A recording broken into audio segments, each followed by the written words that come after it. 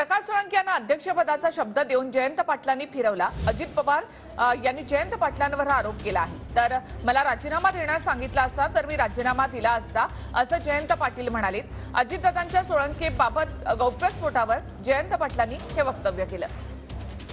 प्रकाश सोळंके साहेब नाराज झाले. त्यांना सरकारच्या मंत्रिमंडळामध्ये यायचं होतं. मी आणि जयंत पाटलांनी त्यांना शब्द दिला कार्याध्यक्षपदाचा. तिथं राष्ट्रवादी भवनमध्ये. आणि जयंत पाटलांनी काय सांगितलं आपल्याला? की एक वर्ष मी अध्यक्ष राहतो एक वर्षाने तुम्ही कार्याध्यक्षाचा अध्यक्ष व्हा. बरोबर ना? त्याच्यानंतर एक वर्ष झालं मी म्हणलं जयंतराव आपण शब्द दिला राहू त्यांना. नाही आहे परंतु वरिष्ठ म्हणतायत "थांब, तूच दुसरं. ते असंच पुढं ढकलत ढकलत अजून चाललेलंच आहे.